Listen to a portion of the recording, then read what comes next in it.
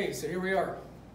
We have finally generated the unit circle completely. Uh, hopefully you've gone through the practice of being able to generate this thing on your own. So uh, you have this pattern.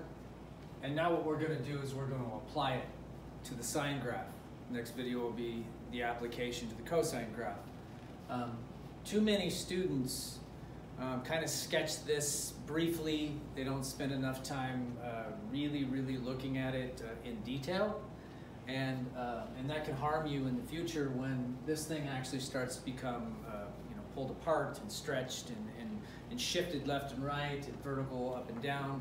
Um, that's when, when problem areas will start to arise. So this video is completely just to graph the parent function for sine. Now, I put an A here because this is going to, this is really going to matter because it's not always going to be a one. But right now, we're going to identify that A stands for amplitude. And the amplitude is just indicating how high and how low the function will rise and fall from the midline. In this case, the parent function's midline is just the x-axis. So right now the amplitude is one. This thing's going to go, and again, this is a, this is a, an absolute value, so it's going to go up one and it's going to go down one. So we already know that this thing is going to travel as high as one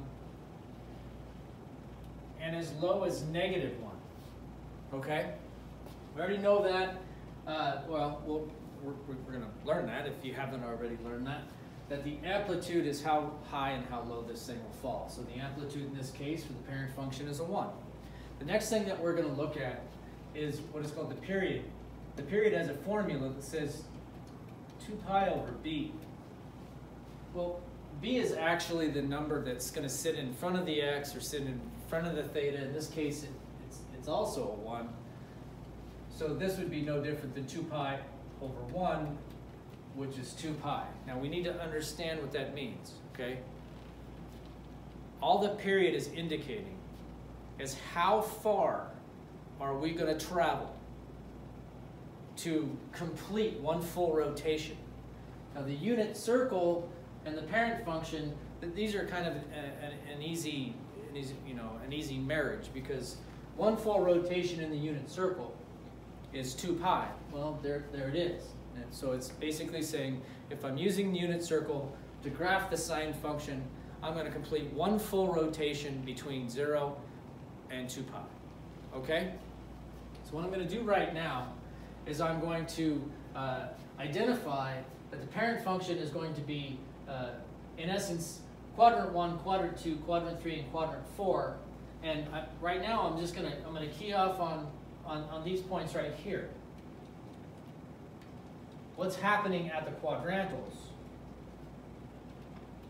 So we can see that the sine of 0 degrees, the sine of 0 degrees is zero, because remember, these are cosine sine. So the sine value at zero degrees is zero.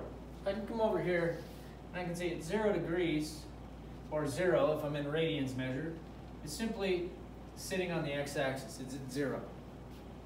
Now, the next thing I'm going to do is I'm going to recognize that there are four quadrants. So I'm going to break this into four pieces. So if I do this in, in the sake of, so you can see it. So see if I can evenly space those out. So there's four pieces. One, two, three, four. Each one of these pieces is going to be relevant to these quadrants and this information that, that this is giving me. Okay? So let's, let's look at just the quadrantals. So if I went from 0 to 90, well this would be the 90 marks. There's pi over 2. And then I'd go to the 180 mark, well, there would be pi. And then I would go to the 270, 3 pi over 2. And the full rotation would land me here, 2 pi. So basically the parent function is going to start and finish between 0 and 2 pi. And when we're all, when we're done, we're going to see we're going to see this the shape of sine unfold based on this information right here. Okay. So what's happening at pi over two? Well, we can look right here at pi over 2 and see the sine value is 1. That point's going to live right here, right at 1. What's happening at pi? The sine value is zero. Comes back to the x-axis, right here. What's happening at 3 pi over 2? Well, let's look and see that coordinate is negative 1. So that's actually going to fall down here at negative 1 and back to 360, which is at 2 pi, and there it is. Now you can see that this thing is going to start doing something like this.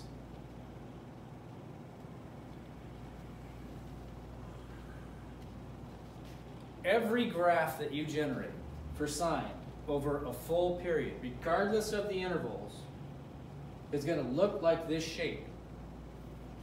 So if you're graphing sine over one period, you need to see this shape. And what I want to do now is when I'm talking about detail, I'm talking about breaking this thing just a little bit more in detail by saying, well, let's look at like this. Identifying, well, that's, oops, that is not supposed to happen. But this is really the region for quadrant one.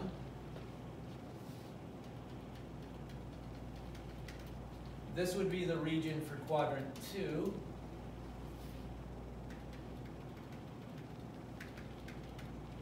This would be our quadrant three. And there's our quadrant four. So quadrant one, two, three, and four. And we can get really detailed about what these points look like within inside these quadrants based on the information that's in front of us here. Okay, the, the, the information you've already generated. So let's let's get real detailed between zero and 90. Well, look what happens here between 0 and 90. We had three reference angles. We have a 30, a 45, and a 60.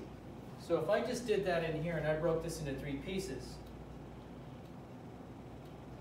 and there's my 30, pi over 6, there's my 45, and there's my 60 degree reference angle. There's the three pieces that lived in quadrant 1. 1, 2, 3, one, two, three. We can correlate, see if I can, I'll just use the same color. We can correlate these values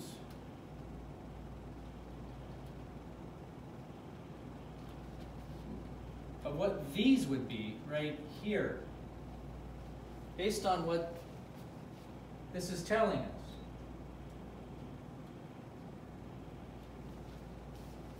So I know at pi over 6 along this curve, at, at 30 degrees or pi over 6, the sine value is supposed to be 0.5, 1 half.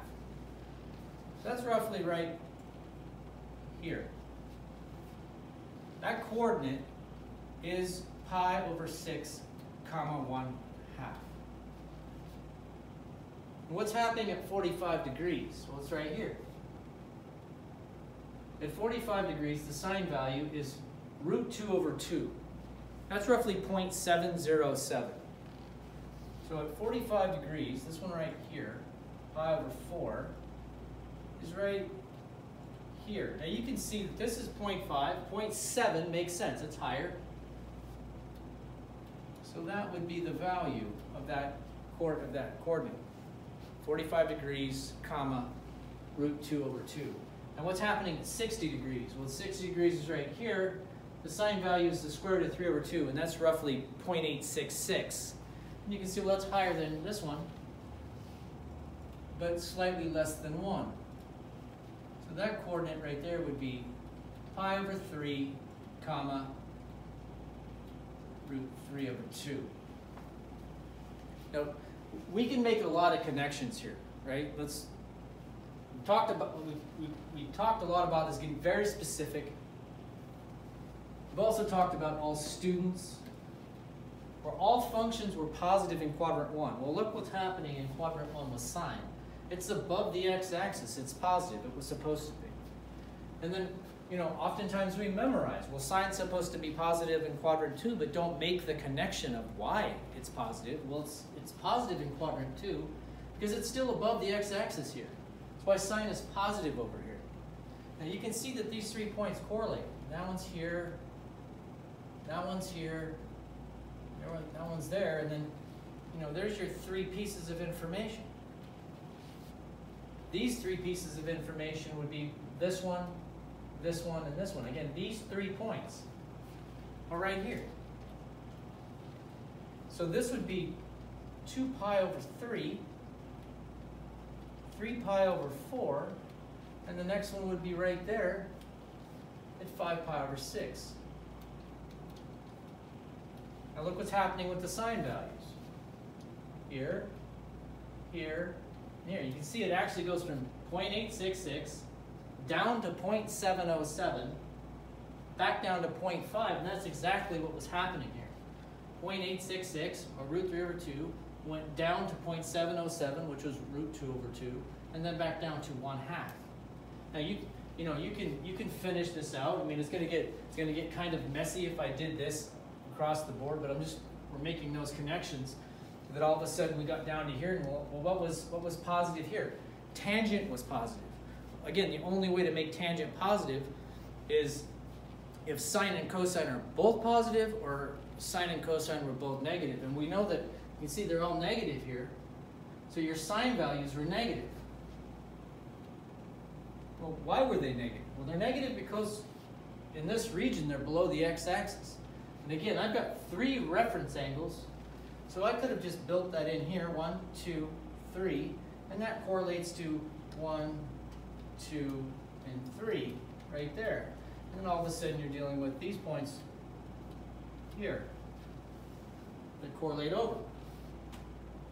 So what was this one? Well, this was 7 pi over 6.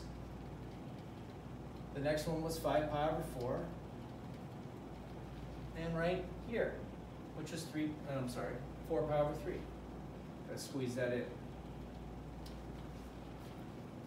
And these values are right here at negative 1 half, negative root 2 over 2, negative root 3 over 2. And then we're right back into cosine, where cosine was the only thing positive, but sine was also negative. And again, the reason that sine was negative is because you're still below the x-axis in this region.